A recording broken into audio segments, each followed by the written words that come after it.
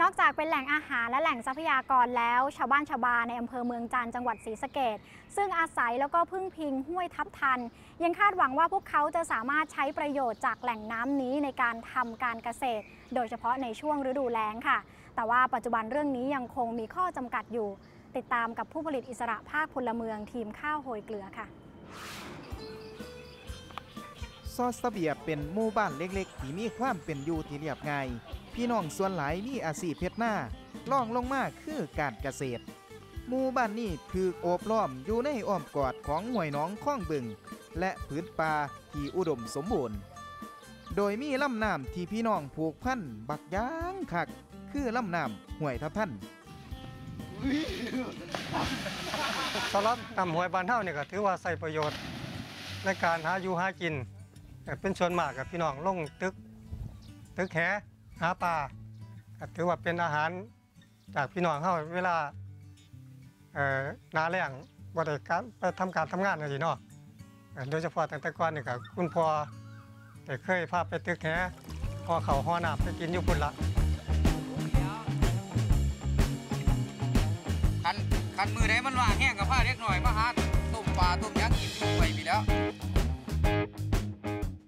นี่แหละครับไอ้ตายหรือหมอลำไตผู้มันมักหาอยู่หากิน และใส่ประโยชน์จากลำน้ำแห่งนี้อยู่เป็นประจำ นั่นก็คือการล่งหาป่า เพื่อนล่งห่วยดูหลายจนป่าแถวนี้จำซื้อเราได้ล่ะครับ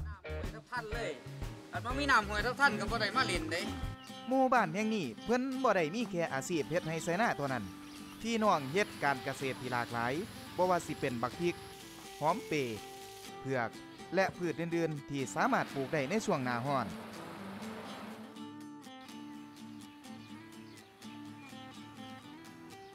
เฮ็ดการเกษตรนี่บ่แม่นง่ายเด้ครับ ต้องตื่นเด็กลุกเช้ามาหดน้ำหดทาของที่ปลูกไว้คือกันกับไอ้เกือบและพี่น้องบ้านนี้อันนี่เอาน้ำห้วยขึ้นมาใส่ได้มันก็สิดีอยู่ เพราะว่ามันสิเฮ็ดให้เฮาน้ำมันพอใส่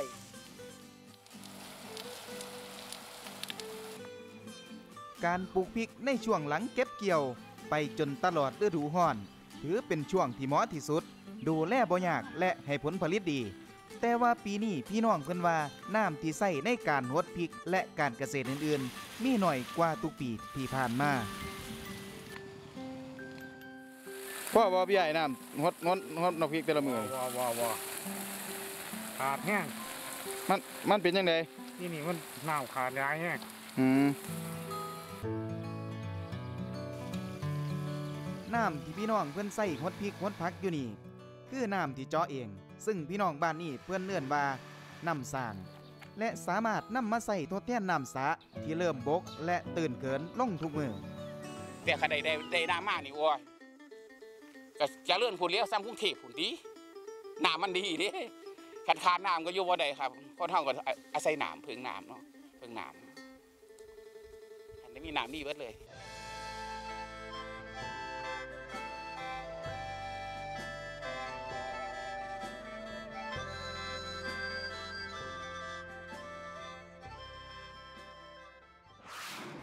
มื่อไม่สามารถนำน้ำในห้วยทับทันขึ้นมาใช้ได้อย่างเต็มประสิทธิภาพ การขุดบ่อบาดาลตามภูมิปัญญาท้องถิ่น จึงถือว่าเป็นอีกหนึ่งทางเลือกค่ะคุณผู้ชมกลับมาติดตามเรื่องราวการจัดการน้ำของคนในหมู่บ้านชบาได้ต่อ กับรายการอยู่ดีมีแหงเช้านี้7จ็ดโมงครึ่งเป็นต้นไปค่ะ ส่วนท่านใดต้องการสื่อสารเรื่องราวใกล้ ๆ ตัวกับนักข่าวพลเมือง แบ่งปันมาเช่นเคยค่ะ ผ่าน facebook.com/citizenthai pbs หรือตามช่องทางที่ปรากฏอยู่นี้ เพราะพลังการสื่อสารอยู่ในมือคุณ